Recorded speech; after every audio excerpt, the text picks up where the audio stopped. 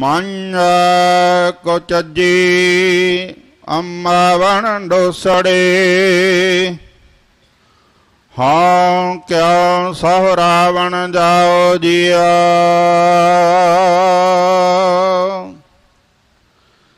ਇੱਕ ਦੂ, ਇੱਕ ਚੜੰਦੀਆਂ। ਕੌਣ ਜਾਣੈ ਮੇਰਾ ਨਾਉ ਜਿਆ।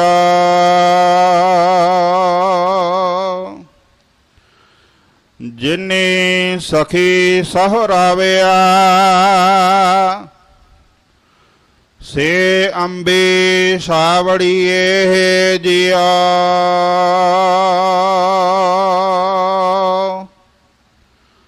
ਸੇ ਗੁਣ ਮੰਨਨਾ ਆਵਣੀ ਹਉ ਕੈ ਜੀ ਦੋਸ ਤਰਿਓ ਜੀਆ।